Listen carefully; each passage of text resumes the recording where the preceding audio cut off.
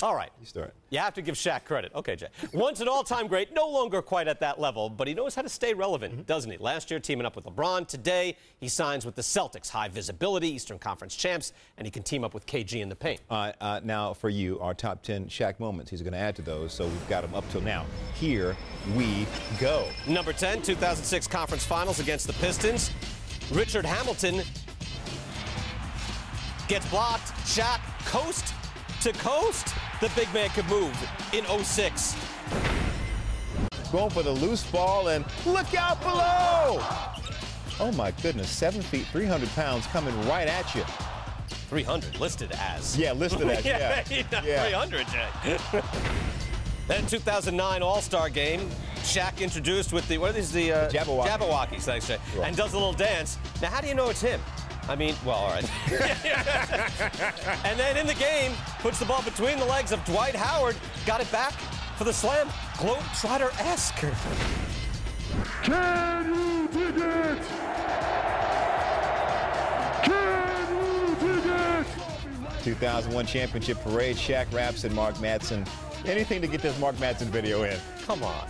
They, they, they, they gratuitous One Mark thing Madsen. I really despise is a front runner.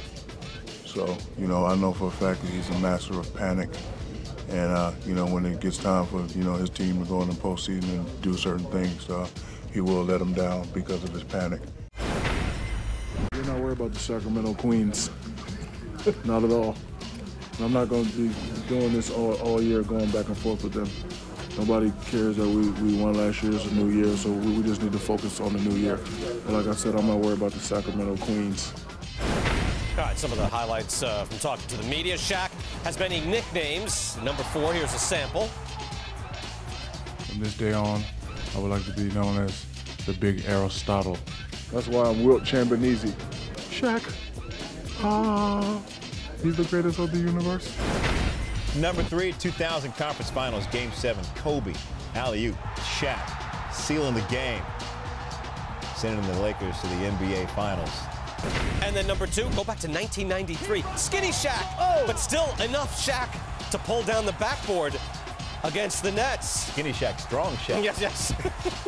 Ridiculous. And number one, uh, Shaq's accomplishments, four NBA titles, three NBA Finals MVPs, uh, first ballot Hall of Fame career. Shaquille O'Neal, top 10 moments.